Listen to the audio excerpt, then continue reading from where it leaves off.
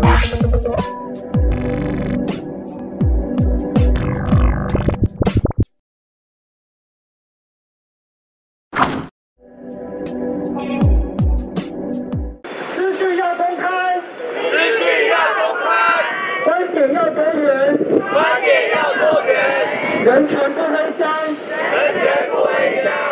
写了一一句话哈，那因为他不好意思，所以我们就帮他一起念一下哈。好，我们请妈妈一起啊，帮他念一下他他想要说的。有时小孩想的比大人还好。OK，好，这我想小孩也是有很多他的想法哈。如果我们把他当成是一个完整的人，那我们应该要去尊重他的想法。那这两年我们在呃校园里面推动儿童权利公约，那我们也让孩子呃在就是在活动呃就儿童人权书展跟儿童权利公约的投票啊。那我想大家也可以顺便了解一下说，呃我们在呃几个学校里面，大家其实孩子对于他心目中最重要的儿童权利公约，其实呃前三名是第一个就是游戏权，他们缺乏游戏权哈。那刚才那个呃詹老师也也提到这个部分，就是他们的时间其实都被整个塞满了哈。那第二个呢，他们提到的是受保护权，因为虽然呃我们是一个呃禁止体罚的。对，我们已经禁止体罚，但是其实他们在学校或者在家里还是受到大人一些呃不同形式的的的处罚，这样哈。那所以孩子其实他们还是觉得他们的声音、他们的权利还是需要被听到、被重视啊。那在这个部分，那第三个呢，呃，是表意权哈，就是孩子希望真的希望他们的声音，其实他们是校园的多数，可是却是声音的少数，所以他们很希望他们从班级哈、班级班规的制定或者各种呃关于跟他们他们的呃生活或他们的学习呃相关的所有的发展的权利，他们都应该有权利来参与哈、那所以这是我们呃的观察，谢谢。其实从家庭或者是从父母的观点，呃，我们不仅仅是希望儿童权利公约的事情法在台湾能够真正的被落实，还有一个更重要的是，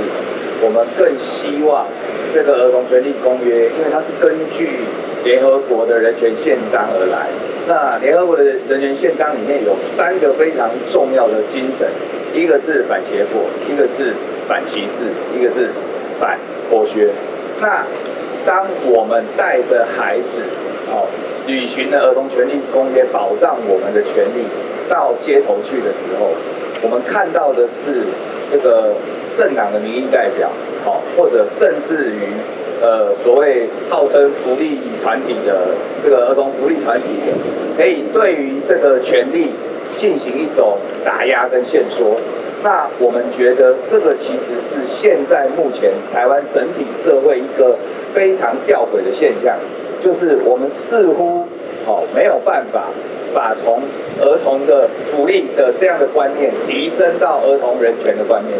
我们也实际在做法上，我们也没有办法从保护的观念提升到尊重的观念。那我想，儿童权利公约这次的施行，很重要的其实是它背后的精神有没有办法被落实。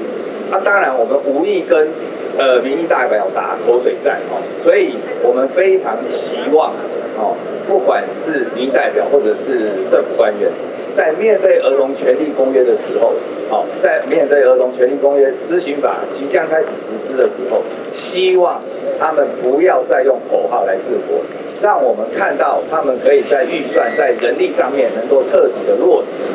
这个儿童权利公约的施行法，然后把呃儿童保护的观念提升到呃对儿童的尊重，然后对这个